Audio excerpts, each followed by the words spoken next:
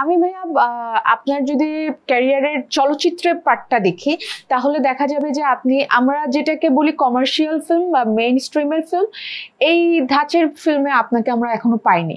আমরা মনপুরার মতন super duper hit চলচ্চিত্রে আপনাকে আমরা পেয়েছি। আমরা আপনাকে অনেক ভালো ভালো চলচ্চিত্রে হ্যাঁ। পেয়েছি যেসব চলচ্চিত্র দর্শক জনপ্রিয়তা শীর্ষে চলে গিয়েছে। হ্যাঁ কিন্তু যদি আমি আবার আমাদের আরেকটা ঘরানা ভাবি যে ঘরানাটা আহ, দর্শকপ্রিয়তা পেয়েছে সেই ঘরানায়ও অনেক ভালো ভালো কাজ হচ্ছে। কিন্তু সেটা একটু কমার্শিয়াল যেখানে নাচ গান থাকছে যেখানে হিরো হিরোইনের কেমিস্ট্রি থাকছে ফাইটস থাকছে। এই একদম যেটাকে আমরা ফিল্মি কইতে ফিল্ম যেটা এইখানটায় আপনাকে আমরা পাইনি। কেন পাইনি? আমি প্রোগ্রাম শুরুর আগেও এটা নিয়ে আমরা কথা বলেছি বাট আমি ওটা না আমি আপনার মুখ থেকে শুনতে চাই। আসলে বিষয়টা হচ্ছে যে আমি আমরা তো আসলে মঞ্চের অভিনেতা। আমরা নাট্যকর্মী বলতাম নিজেদেরকে এখনও বলি। তো আসলে থিয়েটারটাই করতে চেয়েছি। এবং তার পাশাপাশি একটা সময় টেলিভিশনে কাজ করার সুযোগ হয়েছে। তারপরে আমরা চলচ্চিত্রে এসেছি।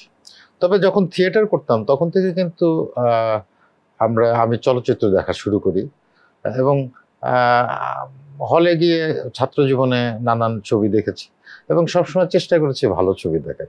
এবং যখন থিয়েটার করা শুরু করলাম, তখনও আমি কলেজে পড়ি।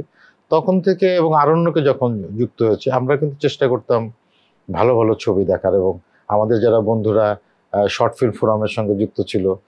তাদের সঙ্গে ইন্ডিয়ান হাই কমিশনের ইন্ডিয়ান কালচারাল সেন্টার যেটা জার্মান কালচারাল সেন্টার এই সমস্ত জায়গায় রাশিয়ান কালচারাল সেন্টার এই সমস্ত জায়গায় গিয়ে ভালো ভালো ছবি দেখার চেষ্টা করেছি।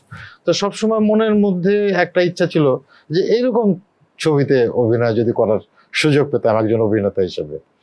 আর পাশাপাশি বাংলাদেশের যে আমাদের যে ছবি এটা একেবারে ফরম্যাটের ছবি আসলে। আপনি যে কথা বোঝাতে চেয়েছেন যে একটা ফরম্যাট আছে ছবির আর কি।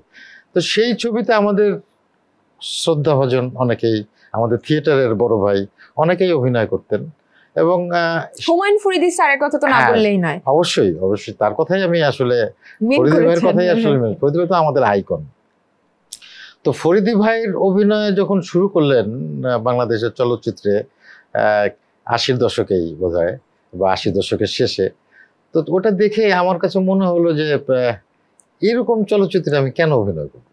হ্যাঁ হ্যাঁ, বা এটা কি চলচ্চিত্র? এখান থেকে আমি আসলে কি দেখব? বা এই চলচ্চিত্র কি আমি আমার পরিবার পরিজন নিয়ে দেখতে পারি?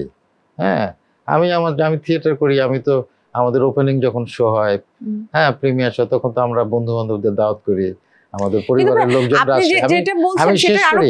কিন্তু। আমি শেষ করি না তখনই আমাদের সময় তখনই আমরা বেড়ে উঠছে আর কি। তখনই কি অশ্লীল সিনেমা ছিল? হ্যাঁ তখনই সবচেয়ে বেশি ছিল। আরও পরে? আরও নাই? না নাই তো আশির দশকের শেষ থেকে নব্বইয়ের দশক পুরোটাই। ওই আচ্ছা। সময় তো আমাদের বড় ভাইরা এই চলচ্চিত্রের সঙ্গে যুক্ত হয়েছে। তো এইটা দেখে আমি আসলে একটু ভীত এবং শঙ্কিত ছিলাম।